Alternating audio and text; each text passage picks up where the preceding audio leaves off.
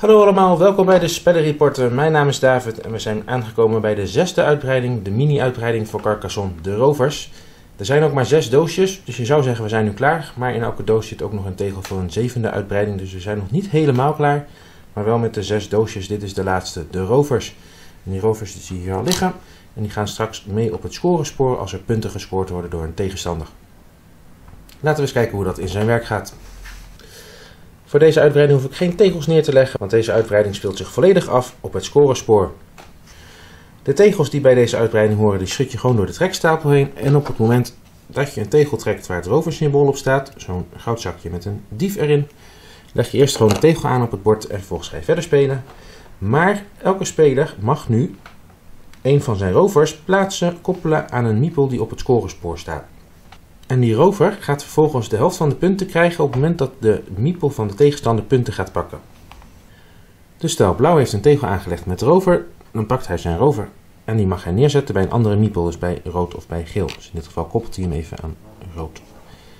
En volgens mogen alle spelers hun miepel erbij zetten, dus rood zet zijn rover bij blauw en geel zet zijn rover ook bij blauw. Je mag de rover niet bij je eigen miepel zetten. En vervolgens gaat het spel verder. Wordt overigens zo'n tegel getrokken en je hebt dan een rover op het scorespoor staan, dan mag je als je wil de rover nog verplaatsen. Stel het spel gaat verder en rood bouwt een stad af van 6 punten. Dan gaat rood zijn miepel verplaatsen op het scorespoor 6 punten vooruit, maar die rover die eraan meegekoppeld zit van blauw die gaat mee.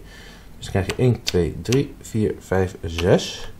En van die 6 krijgt de rover de helft van de punten. Dus in dit geval krijgt blauw 3 punten. Dus blauw, die staat hier, schuift 3 punten op. 1, 2, 3. De rover telt alleen voor punten die je krijgt als iets afgebouwd wordt, dus voor die rood. Dus de rovers die aan blauw zitten, die gaan gewoon mee met blauw. Er gebeurt nog verder even niks mee, omdat dit puur de punten zijn van de rover van blauw.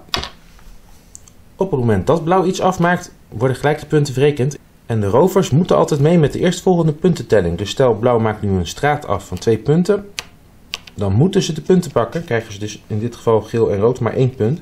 Ze mogen niet zeggen, nou we blijven er nog even aan vastzitten tot hij wat groters afbouwt.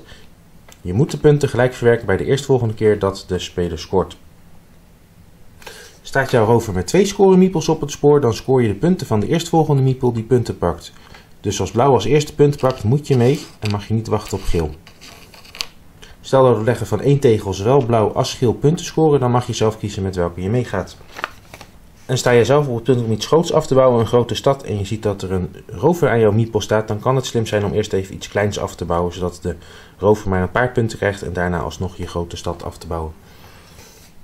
En dat is de hele uitbreiding rovers. Dus je zet je rover bij een andere miepel op het scorespoor en zodra een miepel scoort, krijg jij de helft van de punten.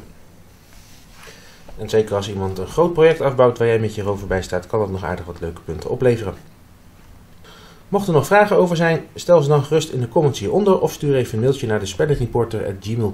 En we zijn ook te vinden op Facebook en Twitter als je zoekt op Spellenreporter. Bedankt voor het kijken en graag tot een volgende keer.